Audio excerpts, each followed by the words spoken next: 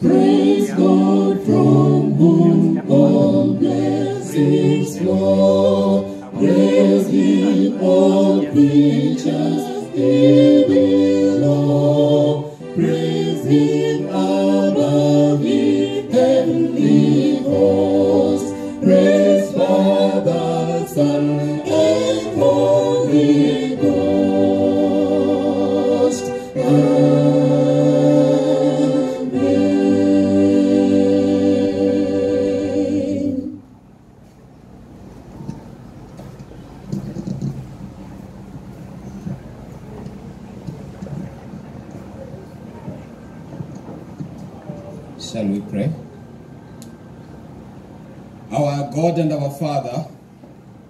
to thank you for this beautiful Sabbath that you've given us.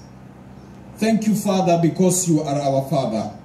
Thank you, Father, because we know that we can trust you and we can believe in you.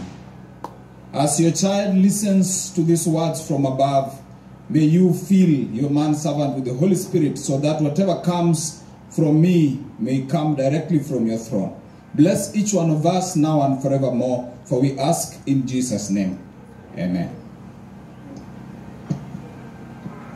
It is a beautiful Sabbath that we want again to say thank you to our God, to our Creator, for giving us an opportunity again to congregate together. These are tough times, but when tough times come, the people of God must also measure up to the toughness of the moment. However tough the moments are, we want to thank God that God is still in charge. That even when things are not looking good, He's still taking control.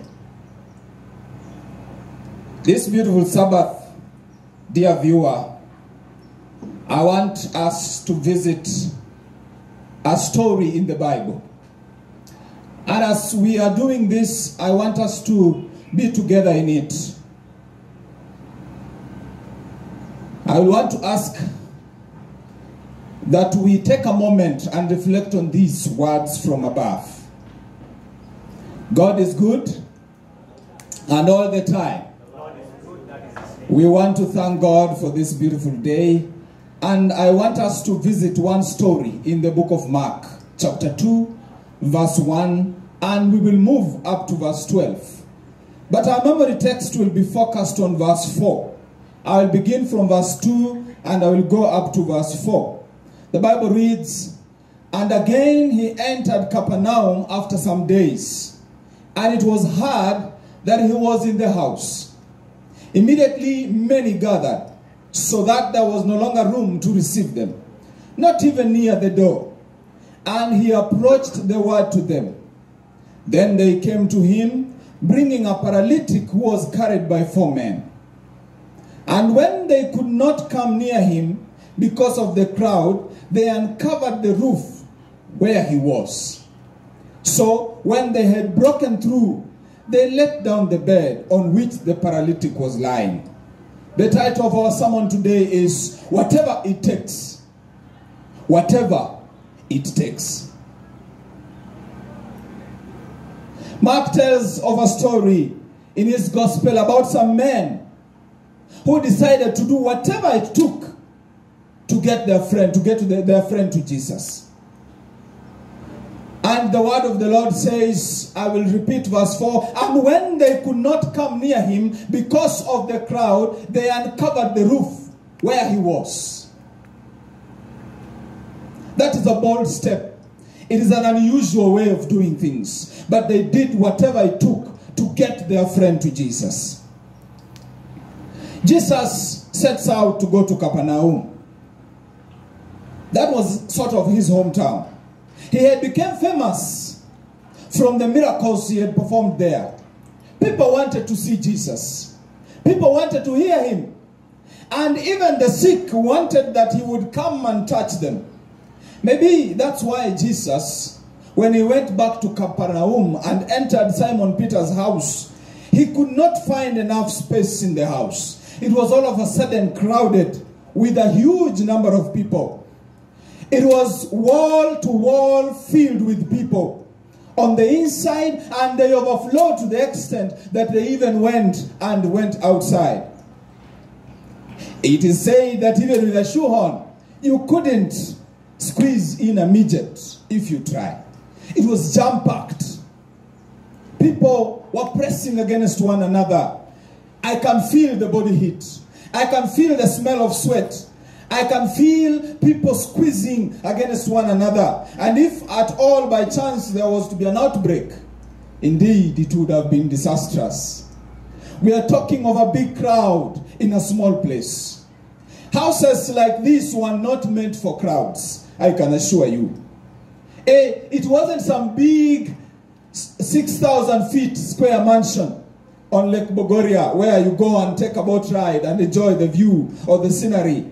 It was no more like one of those little houses, the Masais would call them the, the manyattas. It was more of a, a, a square foot house, small enough with, with, with, with mud around it. Probably even on the roof, it was done with mud and wattle. It had a small staircase on the side. And this is the kind of house we are talking about. They built some steps on the side so that when the heat became intense, you could get time and climb on the roof to escape the troubles of this world and relax on the roof of your house. It was made of clay, I'd say. They built these steps so that you could enjoy the upper side of the house when the temperatures started to cool. Walk with me in this room of imagination, and you will see that inside the house were the big shots. I can say the pastors of the day. I can say there were teachers of the law, there were scribes, there were Pharisees, there were the important people in the society. Those who drive were there, seated in the important seats. Those front chairs were filled with these important people. Those with nice suits were occupying the front seats. Those who have gone to school well were well seated, waiting to listen to the Savior, to listen to Jesus. Those who have means occupied the nice seats. They had been earlier received and had been accorded the nice front seats with a good view. And there was no space for the nobodies. There was no space for the commoners. There was no space for the have-nots. For those of us who come walking on foot, there was indeed no space for us. For those of us who maybe do not drive, or those of us who seem not to have something substantial in this life, there was no space for them. All the space was filled. Is it possible that we could have filled space near Jesus with our importance, with our value, with our monies, with our cars, with our properties until we are blocking the truly thirsty souls from reaching Jesus? They had done the same in that moment. In that time, the house was full, and those who did not have means could not make it in that house. It was every man for himself. Just squeeze in wherever you could. And they squeezed in all right. To the point that even the door was blocked with a mass of humans, with a mass of humanity. And if anybody showed up late, well, good luck finding a place to sit and to hear. But sure enough, in this kind of situation, this kind of sitting, dear viewer, five late comers arrive. I can see five latecomers coming from a distance when we are busy listening to the master preach his word. And Jesus was preaching. He was giving a sermon in this house of Simon Peter. The Bible records that this house, according to history, seems to have been to have belonged to Simon Peter.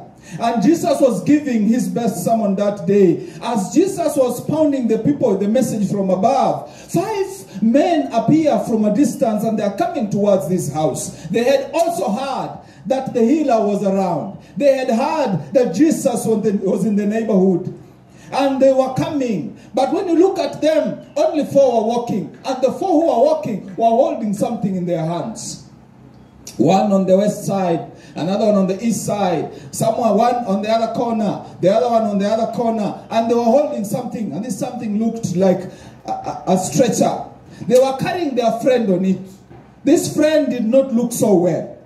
He looked like he was having trouble. He looked like he was not okay. This friend of theirs had been paralyzed, not for one day, not for two days, not for a week, but his whole lifetime he had been paralyzed, probably even from childhood.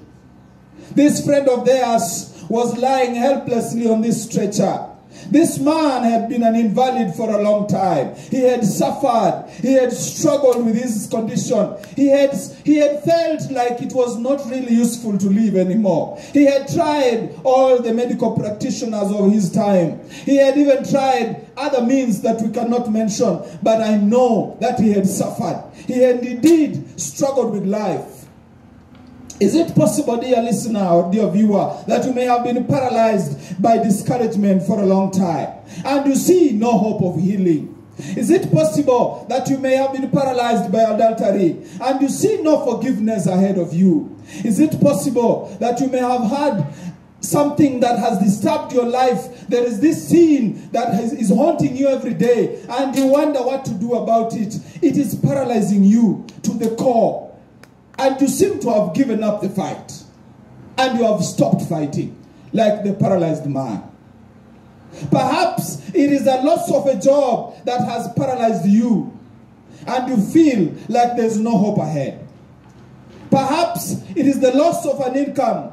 Perhaps a loved one or a terrible sickness has befallen you and you're paralyzed both with fear and hopelessness until you have just decided to give up. Like the paralytic man. On the other hand, could you be having this neighbor who is paralyzed by drunkenness and you have not dragged them to Jesus? Could you be with this church member who is drowning in this habit of gossip and needs to be shown the way to Jesus and you have not? Could you be staying with this friend who is paralyzed with unfaithfulness and always cheating on their spouse and you have not carried them to Jesus? And these four friends say, No, we cannot let our paralyzed friend continue suffering with his paralysis. We cannot allow to see our friend suffering each and every day, but we cannot do something about it. And they've said, No, I will not allow this neighbor of mine to continue suffering with ignorance. I will not allow this neighbor of mine to suffer with paralysis of drunkenness. I will not do that. I will take a step. And the four men took a step and they decided to carry their friend to Jesus. But they are determined and they are courageous. And they decide to try their chance by taking their friend to Jesus. And can you hear the air go out of them as they turn the corner, carrying the man as they struggle and trot along the way? And when they beat, the, they, they take the last corner, they realize the crowd is there and it beat them to it. They stop in their tracks. Oh no, what are we going to do now? One of them says. The paralytic strains to raise his head and see what's going on. And when he sees the crowd, he drops his head back into the stretcher and says, I told you this was a waste of time. Now take me home. Not much is said about these four men who were carrying the paralytic. But a little walk down the imagination road with me, viewer, will help us to understand probably what these men were thinking or what was in their mind. The first man says, I had to doubt it, for Jesus touched my eyes when I was blind. He made me see, and there is no doubt about it. But this man's needs, for sure, are more serious than mine. The second man on the left says, No need to bother. This man's condition will seemingly remain the same. Though Jesus touched my hand when it was withered, I really don't believe he can heal a man so lame. The third man says, I hate to question. But no one here is more skeptical than me. Though Jesus cleansed me when I was a leper, I surely feel this man's condition is hopeless.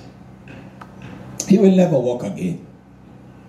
Just like the friends of Job, in this journey of faith, you will find people who may try to discourage you, viewer. You may, they may try to dissuade you from this called religion of Christ. They may try to dissuade you from the religion of hope, a religion with a future, a religion which has something to hold on to, a religion which gives us a hope that there is something better coming, a religion which tells us that one day we will be free from the troubles of this world. You may find people who may dissuade you and tell you that there is no hope in this religion, but what we know is that this religion speaks of a land, speaks of a day, speaks of a time, a time when we will have no more crying, a time when there will be no more death, a time when there will be hope, a time when we will be singing and enjoying the fruits of heaven, a time when we will say bye bye to sorrow, bye bye to death. It will be a time when we will say, all that was bad is gone, and it will be no more. Then every eye but friend, as he was still speaking about this discouragement, this third man, hold on. Every eye turned on to the fourth man. To give him a chance, and also so that they could see how he would criticize and doubt this man named Jesus. But all the three were startled and amazed they were full of bewilderment and amazement when that fourth man stopped and shouted his name out aloud. And he said, My name is Lazarus. My name is Lazarus. And could I please testify? Could I, could I be given a chance also to testify? It is indeed and surely feels good to be alive. He looks at himself from top to bottom and he says, It feels good to be alive. He repeats the phrase again and he says, It surely feels good to be alive. When I was in the chains of death and I was bound, hopeless and in total despair, this man named Jesus came to my rescue. This man named Jesus heard my despair. This man named Jesus saw my situation in the depths of the grave and he called me out. Amen. And that is beautiful. Because this man says, I was in a state of despair. I was in a state of giving up. I had given up completely. I was gone. I was dead. I knew there was no chance for me. But this man named Jesus called me out from the depths of death, the depths of the grave. You may be in a state of total despair. Your job is gone. Your fiance has probably just left you. Maybe you have been evicted from your house. Your children probably have become rogue. The terminal disease that was diagnosed the other day has started eating you up. Remember to look up to the man of Calvary, dear viewer, who called the Lazarus from the dead. The fourth man went on to say, He not only called me out, but he called me by name. And that is beautiful to hear. That he knows you by name. He understands you. He knows your need. He knows what's best for you. Whatever it takes, we must reach this man called Jesus. Whatever it takes, we must make sure that we have the attention of this man named Jesus. We, he must attend to our needs. He must attend to our problems. If you think your problem is too big to solve, the fourth man says, if you think your problem is too big to solve, take it from the one who has heard the mighty voice of God a living testimony of his death defying touch. My name is Lazarus. He repeats again. And these people look at him with amazement. They look at him with wonder. They say, for sure, this is a testimony we had not expected. This is a testimony we had not heard before. This is a testimony that is reassuring. What a message. What a testimony. What a reassuring message. This was the eye opener. It was the icebreaker. It is what uh, brought a glimmer of hope on the paralytic and on the other man. There's going to be a way, says Lazarus. This Jesus that we've come for this far, we cannot go back empty handed. We must see him. We are not going to carry this far only to turn back now. There's got to be a way. Maybe they'll let us through, said another. It's worth a try. By the look of the things and by the look of their faces, it looked like they were beginning to pick up. It looked like they were beginning to get hope. It looked like they were beginning to get chance to try a little harder. And their faith and their hope was once more rekindled. And they said, for sure, we will not lose anything if we try a little harder. And they made their way. Each step a little heavier and a little harder than the one before. They made it to the edge of the crowd. Excuse us, please. Excuse us. Coming through, coming through. You're not coming through here, said a man leaning on his cane. Yeah? Said a blind man. You'll have to wait in line like the rest of us. Who makes you think you're more important than us? And they say, for sure, he will not bypass us. They tried to penetrate through, but it was hard. It was tough. Well, that didn't work out so well. They became a little discouraged. You may be this one person, dear viewer, that will bring the difference in a whole church because of your testimony. Just like the fourth man gave a testimony of hope to his friends, you may be this one person who may bring the difference in your church. Maybe you are just but a deacon, but don't think you are just but a deacon. You are a deacon with a difference. Your testimony may make the difference in your whole church. You may be this one lady who will make the whole family reach Jesus because of your character and your belief in Christ. You may be this one child whose testimony and whose traits will lead many to Jesus. Don't look at yourself like just one. Sometimes some people in our communities die and we feel like the whole community has died just because of their testimony. That simple testimony that you will give through your life, that simple testimony that you will give by what Jesus has done in your life to a neighbor, to a friend, to someone who is discouraged, to someone who is feeling downtrodden, to someone who feels like hope is going away. That one testimony that you will give by your life will surely make a difference, dear viewer. Just hold on and take them to Jesus, whatever it takes.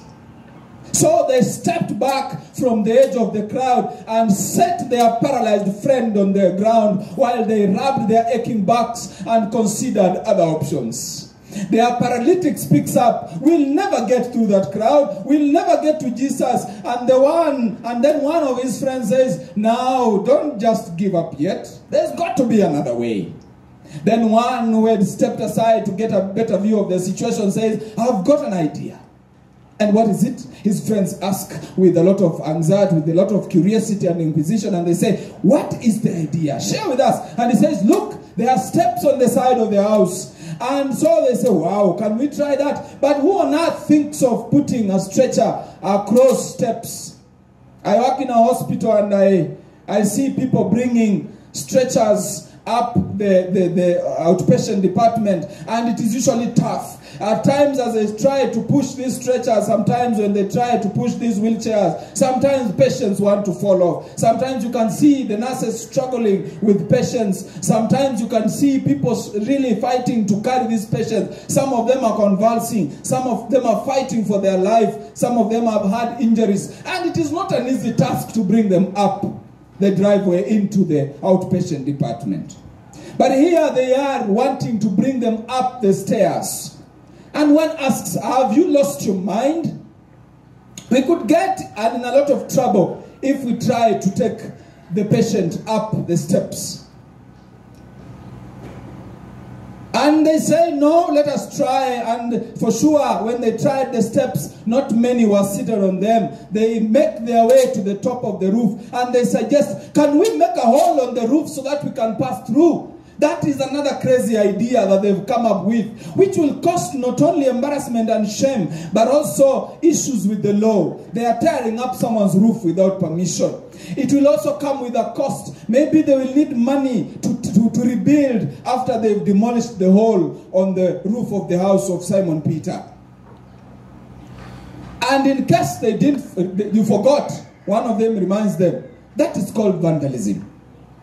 But the man was committed to his idea. Well, I'm not coming this far to give up. If we can get him through that roof, we will pull our money together and fix it when we are done. It is the only way, I can assure you.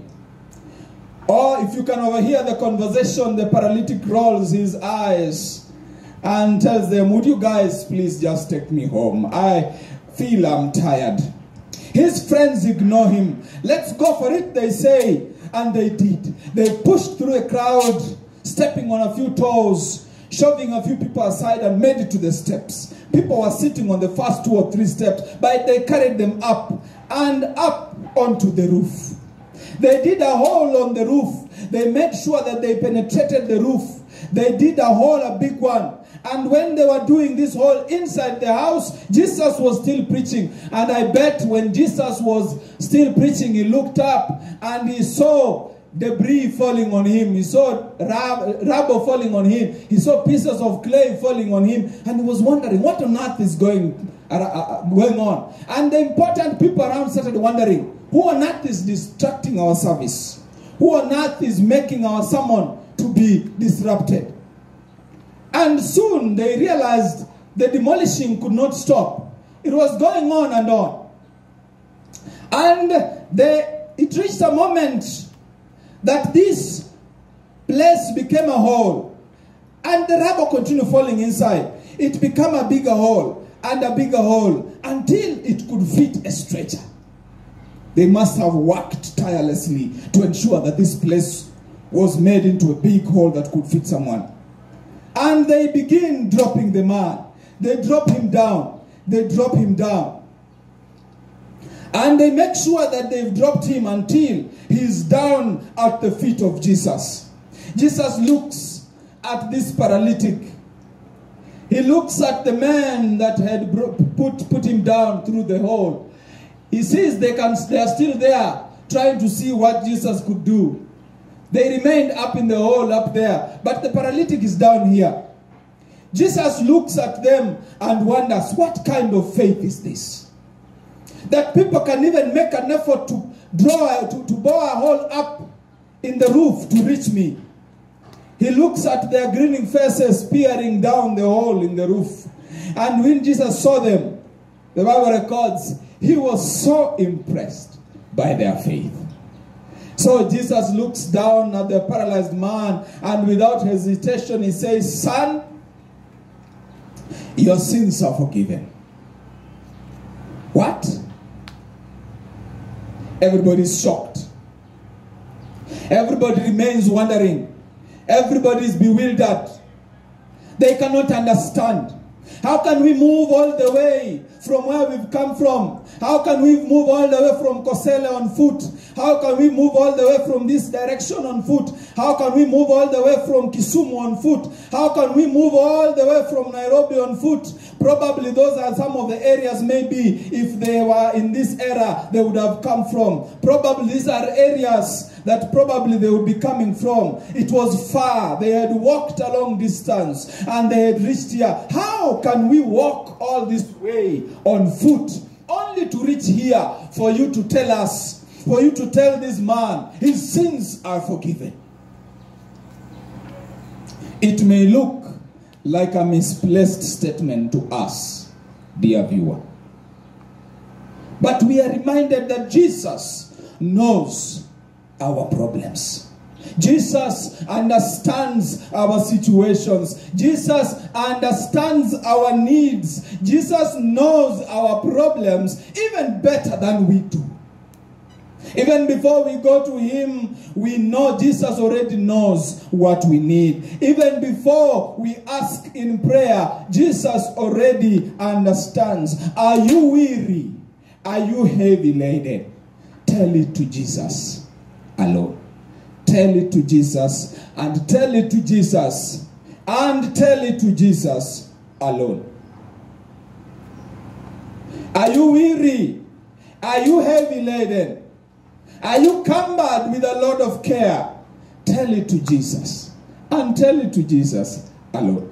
Because it is only Him who can understand your situation. It is only Him who can understand your problem. At times, you may be bombarded with sickness, like this paralyzed man. You look at yourself, you wonder, there was a time I used to sing beautifully in the choir, but now I cannot. There was a time I was a good youth leader, but now I am not able. There was a time I was a powerful preacher, but now my voice is gone because of the cancer eating on my throat. One time I was a good mason. I would build people houses, but now I cannot. One time I was this powerful person who would stand at the gate and smile at every coming person, and people would feel my presence. But now I can no longer smile because of the sickness that has bombarded me.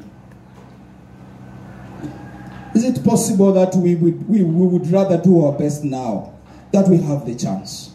I will tell myself, if I have the mouth to sing and the voice to praise my God, I will do it to the top of my voice because I am able and because I know that my God gave me the gift to do so. Before a time comes when I can no longer sing. Before a time comes when I'll be paralyzed. Before a time comes when I can no longer do the preaching that I am doing today. Before a time comes when I can no longer speak like I'm speaking today. Is it possible that I may be paralyzed with sins? I may be paralyzed like this man, and I can no longer do anything. But these things that are haunting me, I do not really know what my problem is. I must take them to Jesus because Jesus and Jesus alone understands my problem. Dear viewer, it is only Jesus that will understand your condition. It is only Jesus that will know what you need. It is only Jesus that will understand, that will put your problem into perspective. He will personalize it. C- counselors normally say that you are not supposed to sympathize but empathize. Jesus not only empathizes but sympathizes with our problem and not only sympathizes but makes it personal. After making it personal, he gives a solution for it. Jesus says, Son, your sins are forgiven. The word son is an intimate term given by a father to a child, given by someone who is dear to you. And when Jesus looks at this paralytic, he not only looks at him like a stranger, he did not say, You man, your sins are forgiven. He did not say, You sick person, your sins are forgiven. No, he said, Son. And when he uses this, the, the term son, it personalizes the relationship between Jesus and the patient. And this man, he has the terminology son, and he feels like he has reached where he has been looking for. Where he has been roaming up and down looking for doctors from all corners, and it has not been working. But this time, he feels at home when he's at the feet of Jesus. At the feet of Jesus, we feel at home. At the feet of Jesus, we feel our problems are solved. At the feet of Jesus, we feel that we have arrived where we've been looking for. At the feet of Jesus, we are at home. And there are no problems that will defeat us. Is it your broken marriage that is hurting you so much that you really feel like there's no solution for it? Take it to the feet of Jesus, and Jesus will solve your problem for you. Jesus says, Son, your sins are forgiven. I've got to wonder if that statement didn't shock more than the teachers of the law in the crowd. It must have been a shock also on the friends on the roof. Your sins are forgiven. We didn't come all this way just to listen to this. We didn't come to tear the roof of this stranger only to drop the patient at the feet of Jesus to hear, Your sins are forgiven. We brought his physical body to be healed, they emphasized. We brought him to be healed, they thought that in their mind. And Jesus asks them, Which one is easier to say? Is it your sins are forgiven or take up your mat and walk? Of course, it is easier to say your sins are forgiven. And Jesus is God. And Jesus, being God, forgives our sins. When we pray to Him, Jesus Pray, and I will forgive your sins. And I will not only forgive, but I will throw them in the depths of the seas so that they are remembered no more. Are you weighed down by sins that you feel Jesus cannot forgive? Are you aware that probably the problems you are having are because of the situation of sin that we are in? And Jesus must come down and forgive us our sins so that we can be free. At times we may be asked for that which Jesus does not require us to solve. At times we may be battling to seek physical forgiveness when what we surely need is spiritual forgiveness. We may be struggling to get well when Jesus knows for sure you do not need to get well now. But what you need is to be at peace with the Savior. Friends, it is beautiful to note that Jesus surely understands our problems. We may think we know what we need. We best understand our own situations. We can Google and prescribe the solutions, but Jesus, our Father, knows what we need. He's always there for us and gives us exactly what we need. This man needed inner peace. He needed the forgiveness of sins that had been eating him up, and he did not know this. He thought his problem was just physical. Are you weary? Are you heavy laden? Tell it to Jesus and Jesus alone. And Jesus tells this man, Stand up, stand up and speak. Stand up and pick up your mat. Stand up and pick up your mat and walk. Stand up and pick up your bed and walk. Uh, but as if they had one of those moments when they did not expect this to happen as well, they, they start battling and thinking that this is just a blasphemous man. Get up, take your mat, and walk. Point number two Jesus not only solves our spiritual problems, but he also attends to our physical needs. Today, dear listener dear viewer, if you take time and pray to Jesus, if you take time by your faith and ask Jesus in heaven, he will surely hear you. He will heal you of your diseases. He will heal you of your physical conditions because he can surely do it. He once did it to this paralytic man, and once more again, he can do it for you. Get up and walk. They were confused, wondering whether Jesus was the real deal or whether Jesus was a fraud. But to prove this, this man simply took up his mat and started walking. He took up his mat and felt like his burden had been lifted. He took up his mat and started walking. He marched. He not only cared about the people who were blocking the path, he who could not be opened the door for when he was coming in was now given way to walk out. He the path was created because of wonder, because of bewilderment, because of the shock that they were going through. They paved way and he walked. He did not care about anything, but he stood upright, marched straight out of the house with gratitude because he had met Jesus. He walked out of the door with his mat on his head. He walked out of the door having met Jesus. We must meet Jesus, whatever it takes.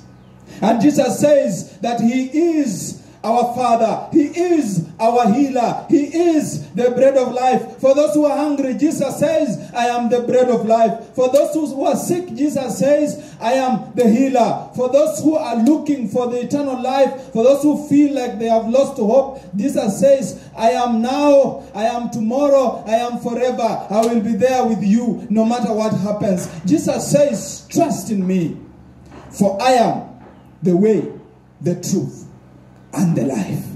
If you feel like you want to give up, friend, know that Jesus is the answer today. Jesus is the solution to your problems. He will surely take you up. He will surely lift you up. He will surely hold your hand that in whatever situation you're facing, just like the paralyzed man, you will be free from it. Jesus will save you today. Jesus is saying, Come to me, ye who are heavy laden, and I will give you rest. Jesus expects us to show love to our friends. Jesus expects us to show love to our brothers and sisters in Christ. Jesus also expects us to love those who haven't yet come to Christ. Certainly, when we are treating these people with patience and kindness, and perseverance and humility and civility, we are loving them well. But if that's as far as our love goes, we are not loving them well enough.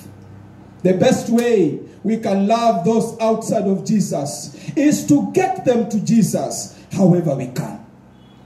Our love encourages, His love saves. Our love helps, but Jesus' love transforms. Our love can make their life a better place in this world, but Jesus' love opens the door for them to live forever in the world to come. May we share the love of Jesus to our neighbors. If you have this neighbor that you've never shared the love of Jesus with him, try that today. If you have this person who is drowning, probably in drunkenness, probably drowning in prostitution, probably drowning in the act of gossip, probably drowning in the act of stealing, probably has been drowned in adultery, talk to them and bring them to Jesus, whatever it takes. May we be blessed this beautiful Sabbath as we consider taking time to speak about the love of Jesus. Jesus Christ is calling each one of us today that may we give our lives to Him. Probably there's this problem that has been disturbing you in your life. Maybe it is a sin that you've been fighting with and you're failing. Bring it to Jesus. Maybe you have sickness that you feel may not heal anytime soon. Take it to Jesus in prayer. Maybe we have this burden that you feel is weighing down on you. Your neighbors cannot be at peace with you because of your bad habits. Bring them to Jesus. At times your children are going haywire and you feel that you're losing focus. Take them to Jesus. At times you may feel that church is no longer the place for you to be and that people are looking at you like one who fell, like one who had backslidden. Bring them to Jesus and bring them to Jesus, whatever it takes. May this be an encouragement to us today that we may come to Jesus, whatever it takes. May God bless each one of us this beautiful Sabbath in Jesus' name. Amen. Shall we pray? Our God and our Father, we want to thank you, Jesus, because of the love that you have for us. Thank you, Father, because of the listener and the viewer who are viewing these words or listening to your words from above. They have listened to your word, and Father, today they've acknowledged that if they come to your feet, just like the paralytic man, they will be made well again. If they come to your feet, they will be whole again. If they come to your feet, they will receive the blessings of eternal life.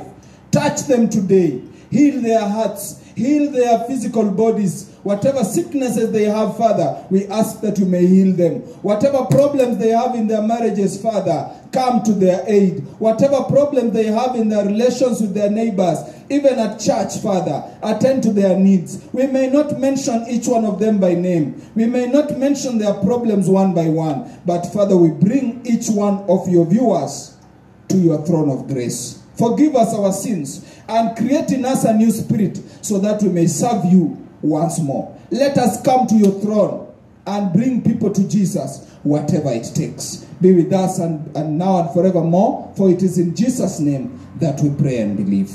Amen. Remember to join us in the afternoon session as we share together the words of the Lord. Welcome, viewer, so that we may continue to enjoy in these beautiful words of Jesus. Thank you. May God bless each one of us.